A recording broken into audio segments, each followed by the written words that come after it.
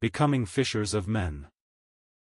And Jesus said unto them, Come ye after me, and I will make you to become fishers of men. Mark 1 verse 17.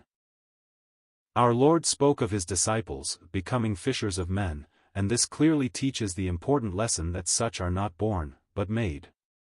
The word become is in many respects one of the most interesting and suggestive in the New Testament, because it always implies a process and a progress. Thus the Apostle Paul urged the Christians at Corinth to become imitators of himself, 1 Cor. 4 colon 16, 11 colon 1.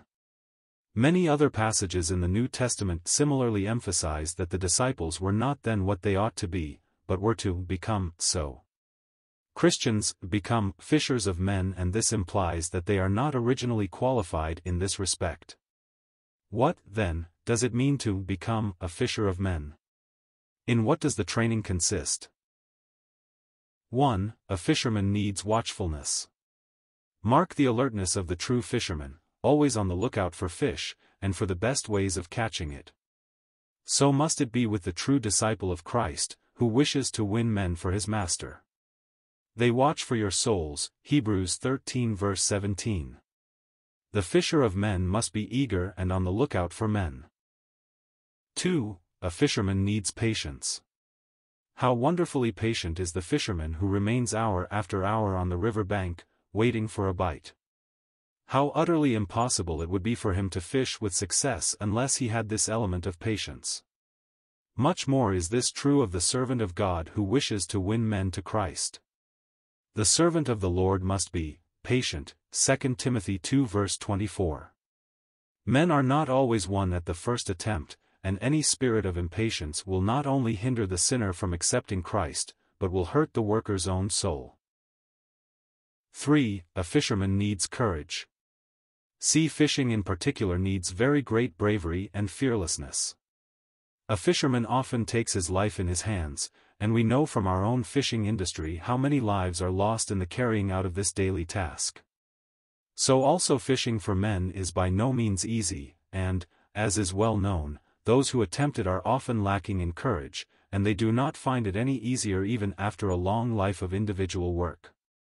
For God hath not given us the spirit of fear, but of power, be not thou therefore ashamed of the testimony of our Lord, but be thou partaker of the afflictions of the gospel according to the power of God. 2 Tim. 1 7, 8. 4. A fisherman needs tactfulness. In the course of a day a man may often have to change his method, and also to use different kinds of bait. We also know that there are very great differences in fishing for various sorts of fish, and there are other diversities, according to locality and circumstance. All this suggests the need of tactfulness.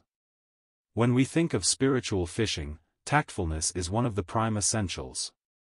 The servant of the Lord must not strive, but be gentle unto all men, apt to teach, patient, in meekness instructing those that oppose themselves. 2 Tim.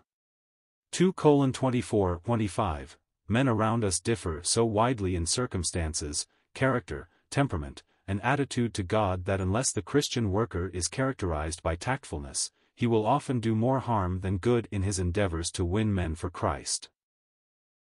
5. A fisherman needs self-forgetfulness. An old fisherman has said that one of the prime requirements of a true fisherman is that he should keep himself out of sight. This quality is preeminently necessary in the soul winner. His own individuality must be kept as far as possible in the background, in order that his master may be first and foremost. There is always danger lest we attach men to ourselves instead of linking them on to Christ. I labored, yet not I, but the grace of God which was with me, 1 Corinthians 15 verse 10. At the king's reception there comes a point at which, after the introduction of the newcomer, the one who introduces him stands aside, his work being over. In like manner, in bringing a soul to Christ we carry the work to a certain point, and then stand back for the soul to have its own private and personal interview with the Master.